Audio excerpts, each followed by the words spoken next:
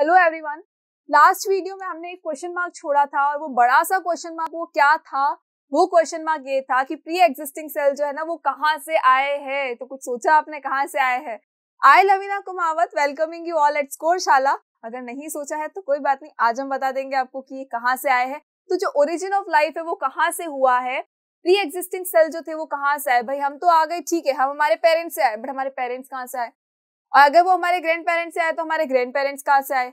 उनसे पहले वाली जो स्पीशीज थी, वो कहाँ से आई? और उनसे पहले वाली और उनसे पहले वाली थी, वो कहाँ से आई? तो क्वेश्चन मार्क जो है ना, वो हटेगा नहीं, वो बिल्कुल नहीं हटेगा यहाँ से। ये क्वेश्चन मार्क जो है ना, ये तब तक नहीं हटेगा जब तक हमें पता नहीं चल जाता कि जो प्री एग्जिस्टिंग सेल था, जो प्री एग्जिस्टिंग स्पीशीज थी, जो फ़र्स्ट स्पीशीज थी, वो कहाँ से आई है? तो जैसा कि हमें बोला जाता है कि हमें भगवान ने बनाया है तो साइंस इस चीज़ को बिल्कुल नहीं मानता है। ठीक है, भगवान है, हम मानते हैं भगवान है। There is a supernatural power जिसकी वजह से ये सारी जो अर्थ है ना, वो प्रॉपर चल रही है। हो सकता है ऐसा बट साइंस इस चीज़ को नहीं मानता कि हमें भगवान ने बनाया है। और जो पुराणों में और जो लिखा जाता है ना, जो टीवी में और दिखाया जाता है कि स्टार्टिंग में एक मेल और एक फीमेल को भगवान ने नीचे भेजा था, फिर रिप्रोडक्शन होते होते होते होते क्या हुआ? इतने सारे इंसान बन गए कंटिन्यूअसली वो जो जनरेशन टू जनरेशन नेक्स्ट होती गई होती गई होती गई, और आज की डेट में हम हैं। तो ये सारी चीज़ें जो है, अगर चलो ठीक है, हम अगर उसको मान भी ले तो आपके प्लांट्स कहाँ से आए? ये भी तो लिविंग ऑर्गेनिज्म है। आपके यूनिसेलुलर ऑर्गेनिज्म कहाँ से आए? वो भी लिविंग है। आपके सारे एनिमल्स कहाँ से आए? ये भी लिविंग है। और भी इतनी सारी स्पीशीज है, वो सारी कहाँ से आई है? भाई, इंसानों को तो चलो भगवान ने भेज दिया तो क्या इन सबको भी भगवान ने भेजा? कि ठीक है बेटा, जाओ। और जाके क्या करो? रिप्रोडक्शन करो। और रिप्रोडक्शन से क्या होगा? हमारी स्पीशीज जो बढ़ेगी बढ़ेगी बढ़ेगी बढ़ेगी बढ़ेगी। और यहाँ पे आ गए हम। इज़ इट ऐसा कुछ हुआ था क्या? ऐसा कुछ नहीं हुआ था। यहाँ जो क्वेश्चन मार्क है ना, इसका आंसर अभी हम देंगे। ये क्वेश्चन मार्क भी हटाएँगे यहाँ से कि ये क्यों हुआ था ये सारा? ये जो प्री एग्जिस्टिंग सेल था, वो कहाँ से आया था? जो हमने इतनी सारी थ्योरीज पढ़ी थी ना, कि हम जो है, नए नहीं है, हम नए बिल्कुल नहीं है, हम प्री एग्जिस्टिंग स्पीशीज से आए हैं तो वो क्यों आए हैं और वो कैसे आए हैं, वो अभी हम देखेंगे। तो प्री एग्जिस्टिंग स्पीशीज जो है, वो कहाँ से आई? तो ये कहाँ से आई है ना, उससे पहले हमें इन भाई साहब के बारे में पढ़ना पड़ेगा। ये भी एक अच्छे साइंटिस्ट थे। बहुत कुछ दिया था इन्होंने भी, बहुत अच्छे साइंटिस्ट थे। जीबीएस हेल्डन नाम था इनका, ये जो ग्रेट पर्सनालिटी है, इनका नाम था जीबीएस हेल्डन हमें इनके बारे में पहले पढ़ना पड़ेगा। अगर आप इनको नहीं पढ़ोगे ना तो आप, आप वहाँ तक नहीं पहुँच सकते कि भी ठीक है पहले वाली स्पीशीज कहाँ से आई बताओ। तो वो जो क्वेश्चन मार्क है वो हटाने के लिए हमें इनके बारे में पढ़ना ही पड़ेगा। बहुत अच्छे भाई साहब है ये भी। बहुत अच्छी पर्सनैलिटी है। इनका नाम था JBS Haldane 1929 it is born year of that scientist British scientist थे ये। He state that the life must have arisen on the primitive earth from a collection of chemicals मतलब इन्होंने क्या स्टेट किया था? सी वापस एक बार अच्छे से देखो, इन्होंने क्या स्टेट किया, क्या बताया इन्होंने कि the life must have arisen must have arisen मतलब कंफर्म नहीं है अभी कंफर्म एक बोल सकते हैं बट स्टिल हम हमेशा हाइपोथेसिस पे काम करते हैं कि ठीक है, जो चीज़ हो गई है उसको हम रिपीट नहीं कर सकते। एंड द सेकेंड थिंग ये काम हुआ होगा हुआ होगा, क्योंकि हम वहाँ नहीं गए थे, हम वहाँ पे नहीं है। हमारे पास टाइम मशीन नहीं है कि हम जाके वो देख लेंगे कि अच्छा ये चलो ठीक है अर्थ कैसे बन रही है, बताओ हमें। तो ये पॉसिबल नहीं है। हम इसी चीज़ पे काम करते हैं कि ये काम हुआ होगा। हुआ होगा इज़ द हाइपोथेसिस ठीक है? तो उन्होंने क्या स्टेट किया था? Life must the primitive earth primitive earth मतलब जो पहले वाली अर्थ थी, उस पर लाइफ कैसे आई होगी? From a collection of chemicals chemical के कलेक्शन से आई होगी। तो लाइफ जो है वो कैसे आई? वो केमिकल के कलेक्शन से आई है। केमिकल को कंबाइन करते गए और उसकी वजह से क्या बनी? लाइफ बनी। कैसे हुआ? तो अर्थ हमें तो पता है ना कि सूरज का ही एक टुकड़ा है, सन का एक टुकड़ा है जो टूट के साइड हो गया था। तो वो कितना गर्म होगा? क्या उतनी गर्मी में हम रह सकते हैं? तो हम बिल्कुल नहीं रह सकते उस गर्मी में। एक टाइम के बाद क्या हुआ? धीरे धीरे धीरे धीरे अर्थ जब ठंडी होती गई और जब कंडेंसेशन होता है, जब ठंडा होता है सब कुछ दैट मीन्स कि सारे जो पार्टिकल्स होते हैं मोलिक्यूल्स होते हैं ना एलिमेंट्स होते हैं, वो सब जुड़ते जाते हैं। पता होगा ये आपको। वाटर साइकिल हमने पढ़ा है। जब पानी जो होता है इवेपोरेट होकर जब ऊपर की तरफ़ जाता है तो वहाँ पे क्या होता है? कंडेंसेशन होता है। ठंड बढ़ती है वहाँ पे कंडेंसेशन होगा और कंडेंसेशन होते ही क्या हुआ? वो जो वाटर वेपर था, वो फिर से वाटर मॉलिक्यूल्स में ड्रॉपलेट्स में कन्वर्ट होने लगता है कंटिन्यूसली ज्वाइन हो के क्या बनाता है? क्लाउड्स का फॉर्मेशन कर देता है, उसके बाद होती है बारिश। चलिए। Atoms combined into inorganic molecule atoms जो थे, वो इनऑर्गेनिक मॉलिक्यूल में कंबाइन हो गए। भाई एटम्स कंबाइन होते गए और बना इनऑर्गेनिक मॉलिक्यूल इनऑर्गेनिक मॉलिक्यूल्स जो है, वो सिंपल ऑर्गेनिक कंपाउंड्स में हो गए। इनऑर्गेनिक मॉलिक्यूल्स जो है, वो सिंपल ऑर्गेनिक कंपाउंड्स बन गए। सिंपल ऑर्गेनिक कंपाउंड से कॉम्प्लेक्स ऑर्गेनिक कंपाउंड्स बन गए।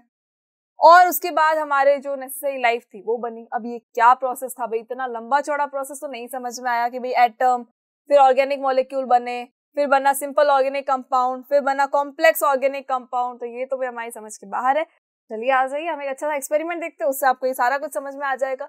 बट आई होप कि आपको ये समझ में आ गया होगा कि जो प्रिमिटिव अर्थ थी, उसके ऊपर क्या हुआ केमिकल इवोल्यूशन हुआ और केमिकल्स के कॉम्बिनेशन से क्या बना? प्रिमिटिव सेल्स बने। अब ये कैसे बने तो ये हम अभी देखेंगे। चलिए प्रिमिटिव एटमोस्फियर जो था, उसमें क्या था? एच टू ओ था एन टू था एच टू था CO था H2S था। अब ये क्या है? तो ये हमारा है water nitrogen hydrogen carbon monoxide and hydrogen sulphide जो कि उस प्रिमेटिव अर्थ के ऊपर थी। पानी था बट जबकि हम बोल रहे हैं कि अर्थ जो है, वो बहुत गर्म थी। तो अर्थ अगर इतनी गर्म थी तो पानी जो है वो वाटर फॉर्म में तो रह नहीं सकता। अब जब वो वाटर फॉर्म में नहीं रहेगा तो वो किस फॉर्म में होगा? वो वाटर वेपर की फॉर्म में होगा। पानी जो है वो कौन सी फॉर्म में? वो वाटर वेपर की फॉर्म में होगा। Nitrogen hydrogen carbon monoxide hydrogen sulphide तो ये सारा क्या था प्रिमिटिव अर्थ के अंदर? ओनली ओनली गैसेस थी। आया समझ में? प्रिमिटिव अर्थ जो थी स्टार्टिंग की जो अर्थ थी, जो आग का गोला थी, जब वो धीरे धीरे धीरे क्या हुआ? उसका टेम्परेचर जो था, वो डाउन होते गया। उसका जो टेम्परेचर था, वो कंटिन्यूसली डाउन हो रहा था, हो रहा था, हो रहा था। और होते होते होते क्या हुआ? उसके अंदर इतनी सारी गैसेस प्रेजेंट थी। जब इतनी सारी उसके अंदर गैसेस प्रेजेंट थी, जब उसका टेम्परेचर डाउन हुआ तो क्या बना? Small and medium size molecule sugar purine pyrimidine amino acid and lipids बने। ठीक है? प्रिमिटिव अर्थ थी। ठीक है भाई, हमें ये समझ में आ गया कि भाई ये जो अर्थ थी, वो आग का गोला थी। तो अर्थ को आग का गोला, ले लो अर्थ को आग का गोला। ये जो हमारी अर्थ है, वो क्या है? ये है एक बड़ा सा आग का गोला। इसको मान लो कि ये हमारी अर्थ है और जो एक बड़ा सा जो है वो आग का गोला है धीरे धीरे क्या होगा इसका टेम्परेचर डाउन होगा। क्या होगा इसका टेम्परेचर धीरे धीरे धीरे क्या होगा? टेम्परेचर जो है वो इसका, वो होगा डाउन टेम्परेचर डाउन होता गया और हमने अभी पढ़ा था कि जब वाटर साइकिल होता है और जब कंडेंसेशन होता है ऊपर तो सारे जो मॉलिक्यूल्स होते हैं वो जुड़ते जाते हैं।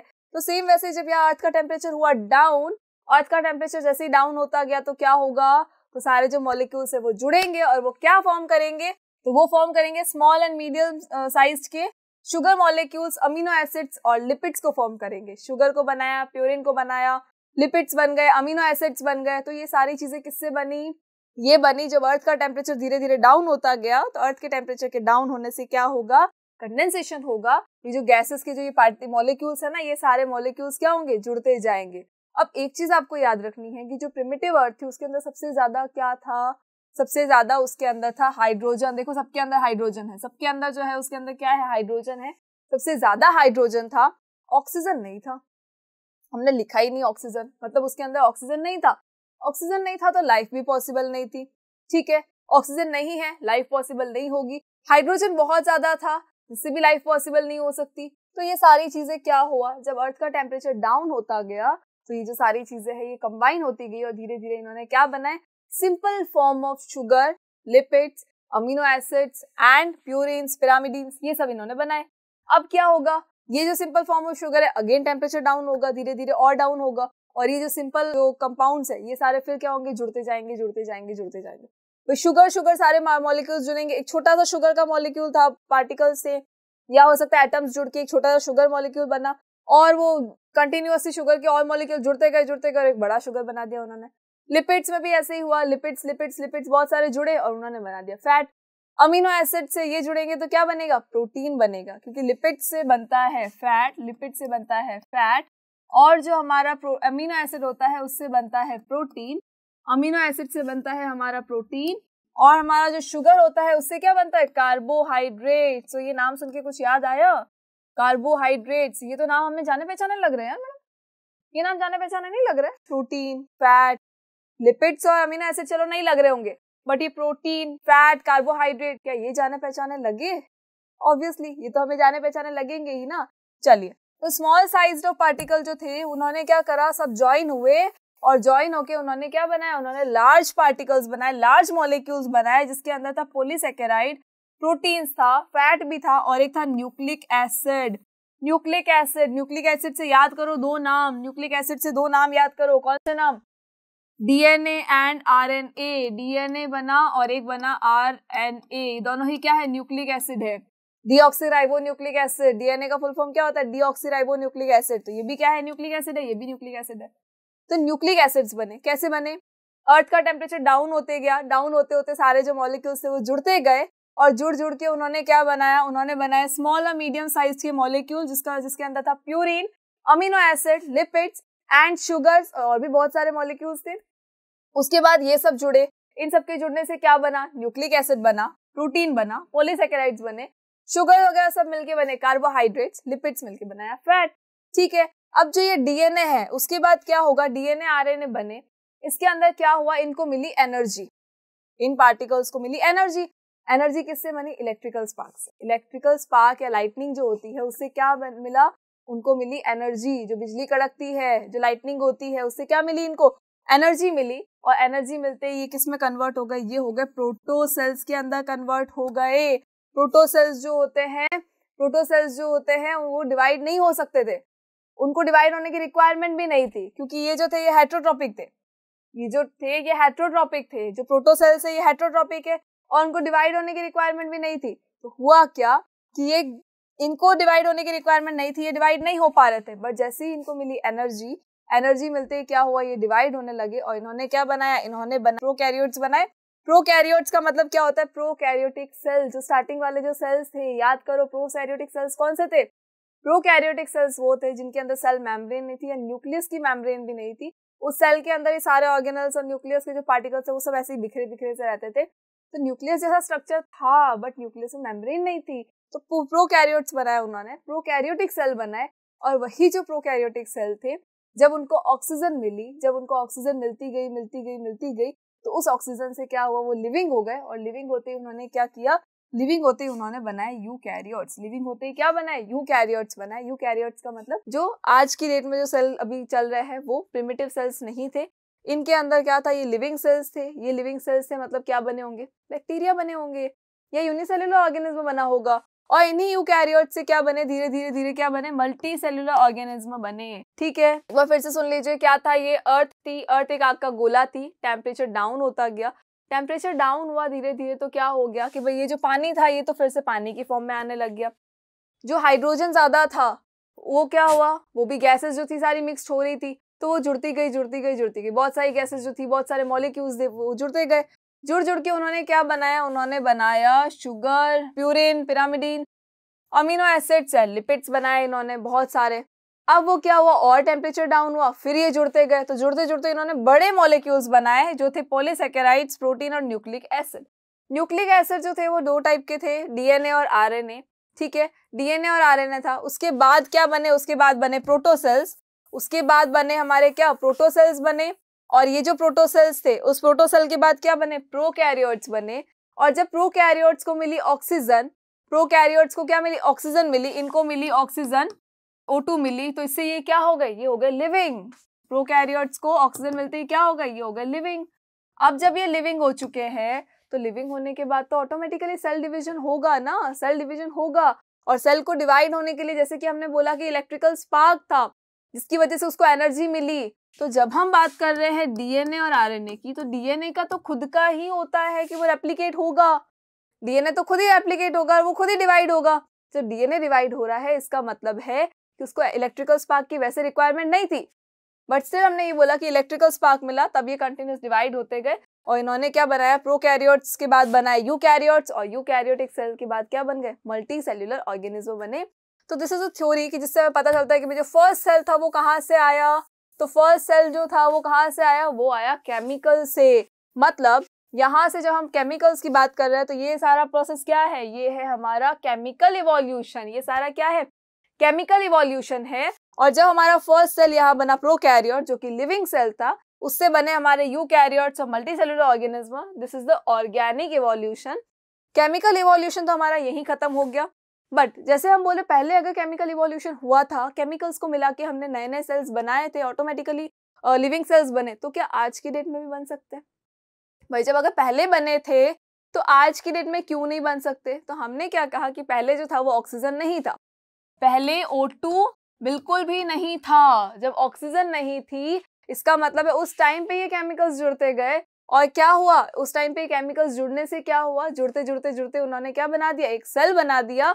बट अब ये पॉसिबल नहीं है क्योंकि अभी ऑक्सीजन है, हमारे एनवायरनमेंट में ऑक्सीजन प्रेजेंट है। मतलब ये जो केमिकल इवोल्यूशन है, ये आज की डेट में पॉसिबल बिल्कुल नहीं है। आज सेल्स ऐसे नहीं बनते हैं। और उसके बाद जो ये हमारा ऑर्गेनिक इवोल्यूशन है, ये तो केमिकल इवोल्यूशन हमारा यही खत्म हो गया। इसके आगे तो बढ़ा ही नहीं। इसके आगे नहीं बढ़ सकता हमारा केमिकल इवोल्यूशन बट जब ये एक सेल बन गया लिविंग सेल बना, उसके आगे का जो ये प्रोसेस है, ये क्या है हमारा ऑर्गेनिक इवोल्यूशन है। और जो अभी भी चल रहा है, वो अभी भी अकरिंग है कंटिन्यूस चल रहा है। तो आई होप कि आपको ये समझ में आया कि एग्जैक्टली exactly ये था, क्या ये कौन सी थ्योरी थी। तो अब आपको पता है कि ऑर्गेनिक मॉलिक्यूल्स जो थे, वो कहाँ से आए। फिर से एक बार देख लीजिए। The experiment conducted by Stanley L Miller and Harold C Urey in 1953 एक एक्सपेरिमेंट किया गया। ये जो एक पूरा जो प्रोसेस था उस प्रोसेस को समझाने के लिए एक मिलर्स एक्सपेरिमेंट हुआ था, जिसको किया था Stanley L Miller and Harold C Urey ने किया था। 1953 में किया था इन्होंने ये एक्सपेरिमेंट और इन्होंने ये बताया था कि ये जो थ्योरी दी थी ना उन्होंने, जो थ्योरी दी थी ये वाली पूरी, जो ये पीछे वाली हमारी पूरी थ्योरी थी और जो ये हमने इन भाई साहब के बारे में बात की थी हेल्डन के बारे में बात की थी तो ये सारी चीज़ें जो थी वो एग्जैक्टली exactly सही थी। उस टाइम पे ऐसे ही बने थे हमारे ये सेल्स उसी के बाद हम बने हैं multicellular organism because of evolution but जो ये मिलर्स एक्सपेरिमेंट था, ये इस चीज़ को प्रूव करता है, ये पूरे उस प्रोसेस को फिर से नहीं दोहरा सकते बट एक छोटा सा एक्सपेरिमेंट कर सकते हैं, क्योंकि वो एनवायरनमेंट जो था, वो डिफरेंट था। आज की डेट में वो एनवायरनमेंट अर्थ पे होना पॉसिबल नहीं है। तो इन्होंने क्या करा अपने लैब के अंदर? थोड़ा सा कुछ उस तरह का एनवायरनमेंट का सेटअप किया और उससे उन्होंने इस एक्सपेरिमेंट से प्रूव किया कि भाई वो जो थ्योरी थी, वो सही थी। प्रिमिटिव अर्थ थी, उसके अंदर गैसेस थी, फिर ठंडी होते होते बहुत सारा सब मिले, मिलके उन्होंने वो प्रोटीन एंड ऑल सब कुछ बनाया।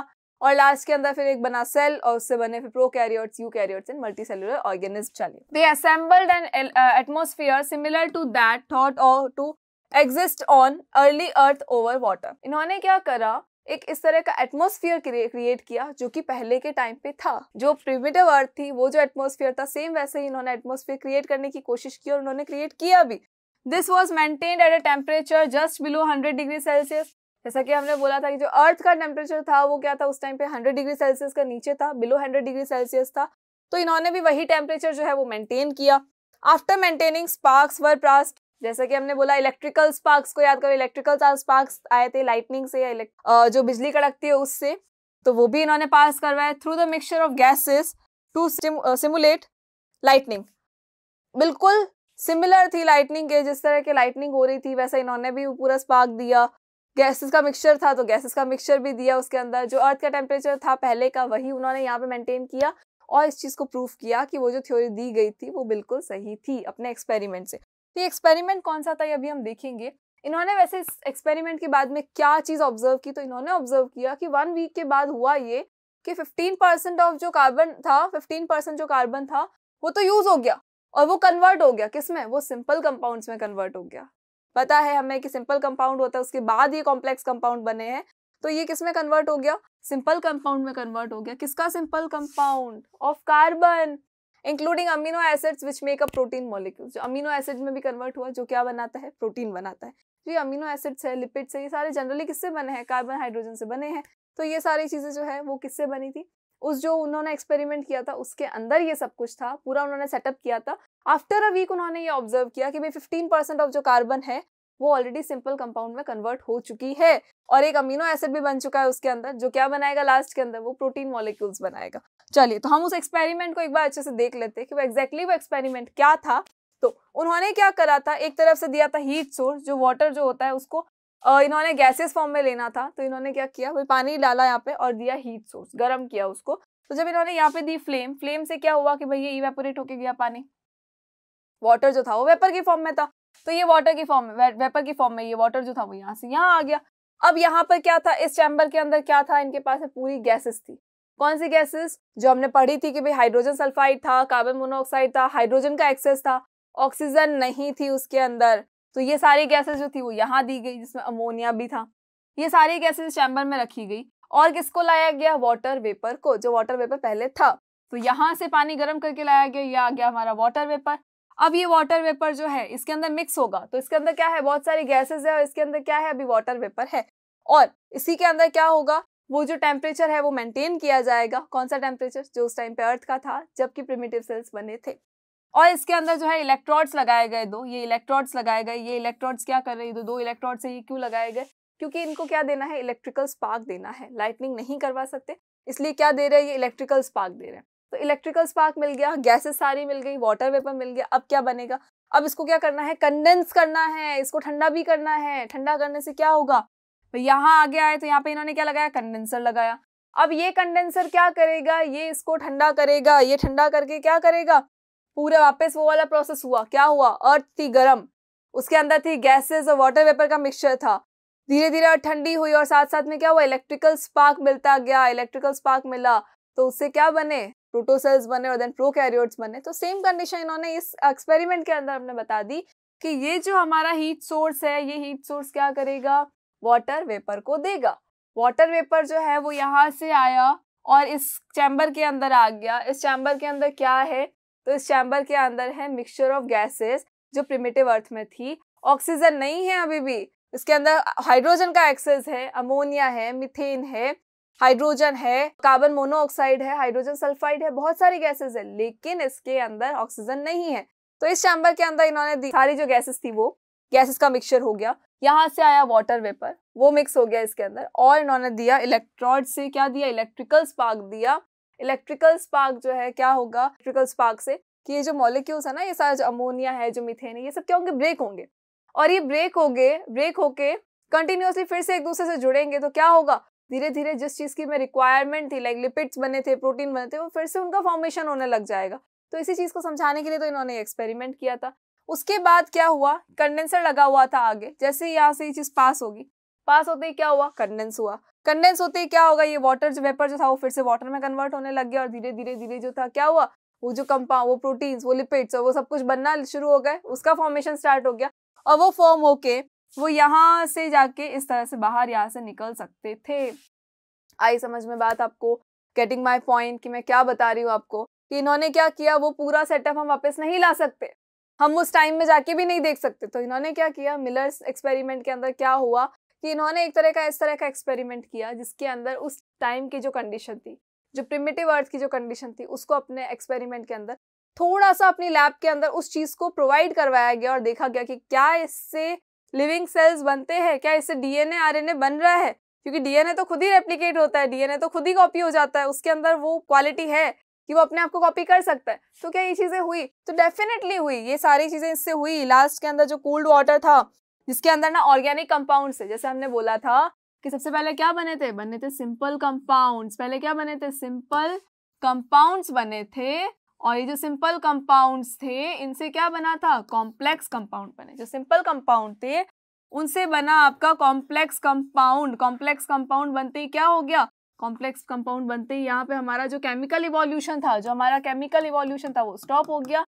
और इसके बाद जो है सिंपल लाइफ फॉर्म बनी। सिंपल लाइफ फॉर्म यहीं से शुरू हो जाती है हमारी भी सिंपल लाइफ फॉर्म ये हो गई स्टार्ट और यहाँ से उसके बाद क्या बनेगा? उसके बाद बनेगी कॉम्प्लेक्स लाइफ फॉर्म तो ये जो यहाँ का जो ये प्रोसेस है, इसको हम क्या बोलते हैं? ऑर्गेनिक इवोल्यूशन तो एग्जैक्टली exactly इसमें भी यही हुआ। इसमें भी हुआ। इसके अंदर भी क्या बने? सिंपल कंपाउंड्स बने। ऑर्गेनिक कंपाउंड्स बने। जो ऑर्गेनिक कंपाउंड्स थे, उनके बनते, उनको समझ में आ गया कि भाई हाँ जो हेल्डन ने थ्योरी दी थी ना, वो बिल्कुल सही थी। इस तरह से ही बने थे हम। जो ऑर्गेनिक कंपाउंड्स थे ना, वो इसी तरह से बने थे। पहले सिंपल थे देन धीरे धीरे धीरे कॉम्प्लेक्स बनते गए। उसके बाद हमारा प्रोकैरियोट सेल और प्रोकैरियोट सेल जैसे ही लिविंग हुआ, क्योंकि उसको ऑक्सीजन मिलने लग गया था।